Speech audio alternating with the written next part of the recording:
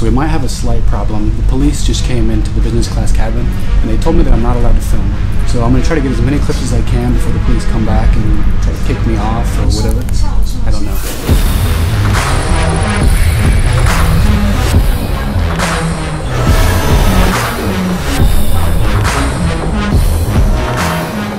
Hey, what's up guys? Jacoby from jacobysjourneys.com and I'm with Vina today. And today we're going to be taking a business class high-speed train to Nanning, Guangxi, China. Can't wait.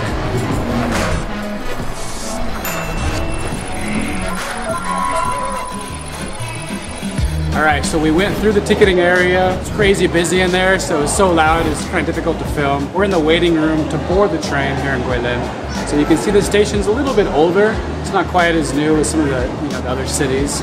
Um, anything that you're excited for for this train ride to Nanning? It's been a long time we travel in Yangshuo, then getting tired. It's good to have business class to go back Nanning. Yeah.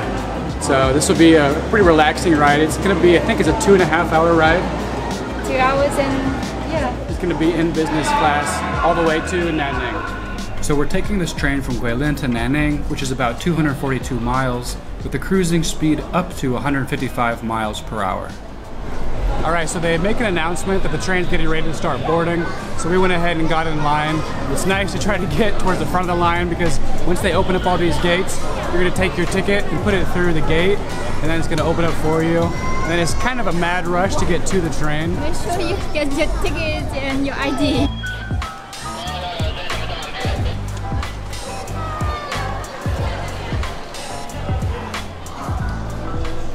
All right, so we've arrived down the actual platform.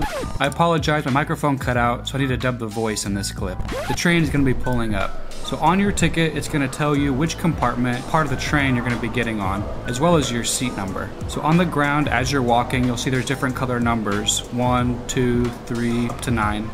So each color is going to represent a different train. So our train, the color is yellow, so our compartment is 9. So we are looking for a yellow number 9. It's a little bit confusing. You might have to ask somebody. There are train workers along the whole platform, so if you don't know where to go, just ask one of the workers, show them your ticket, and they'll point you out. You don't have to worry about a language barrier if you don't speak Chinese. It always amazes me to see how quiet and efficient these trains are. It's really awesome to watch them glide into the station to a perfect, smooth stop.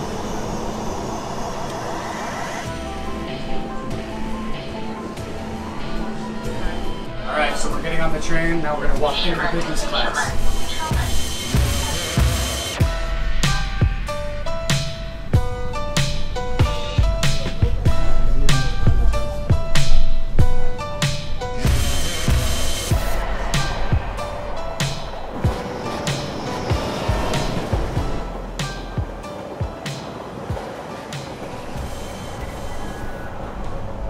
So we might have a slight problem. The police just came into the business class cabin and they told me that I'm not allowed to film.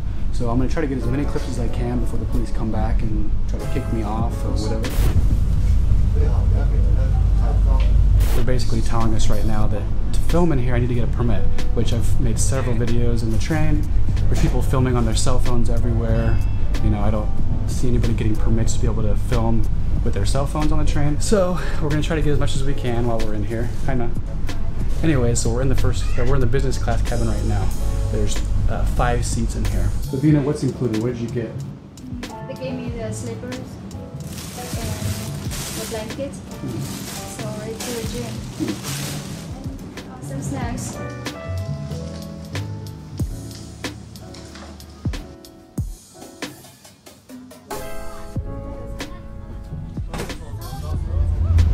Again, in the business class ticket, it includes a meal. Usually, I've had once or twice where they tried to get out of giving us a meal, so make sure you just mention it. Hey, does my ticket include a meal? Um, I've had a lot of people commenting on the last video about the, the food that we ate on the last business class video going to Hong Kong.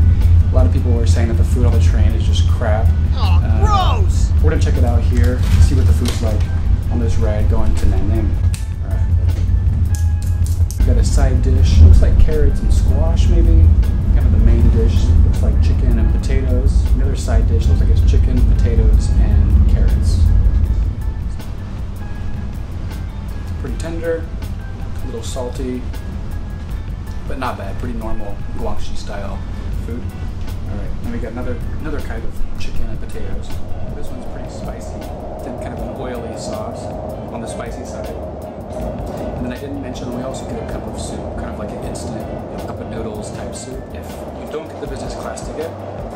Buy this meal, you're in first class, second class, it's going to cost about 60 RMB. Um, you know, is it worth 60 kwai? I don't think so. I don't think I would probably pay 60 RMB for this. But when you're taking the train, it's included in your ticket.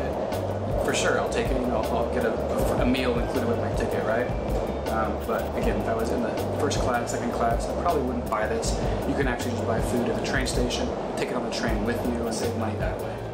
I wouldn't say it's really good, but it's not bad. It's been for a long day and if you're super hungry, it's good for like, it's good to have some meal.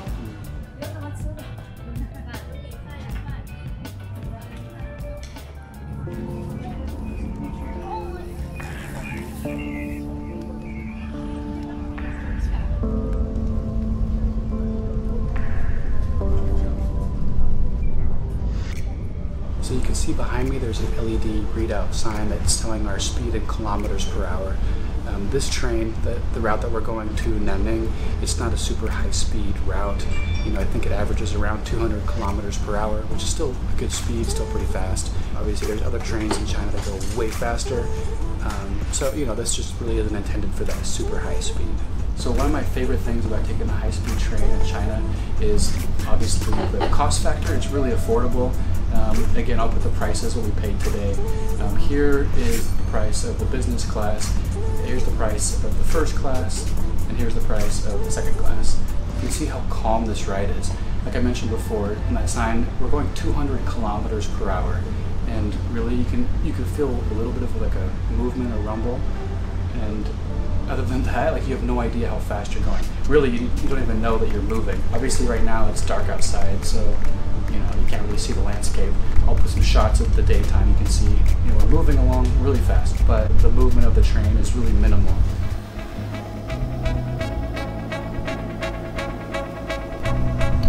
All right, so I've got the bed laid out. This is really nice. Unfortunately, we only have a couple hour ride, so you know I don't really need to sleep but it's nice that you can. For a long long haul ride, this would definitely be really nice. You've also got a little light, sit here and read if you wanted to. The only thing it's missing is a massager. That would be really great.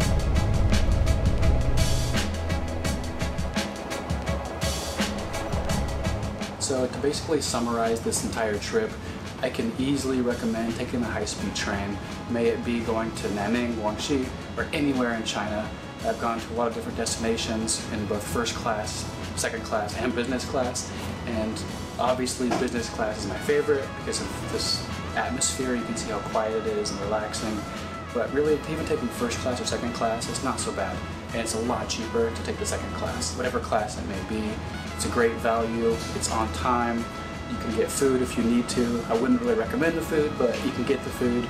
Uh, the staff is super friendly and uh, helpful, except when the police come and tell you to stop recording. Overall, great train ride. I really recommend taking the high-speed train in China. We're just getting off the train here in Nanning.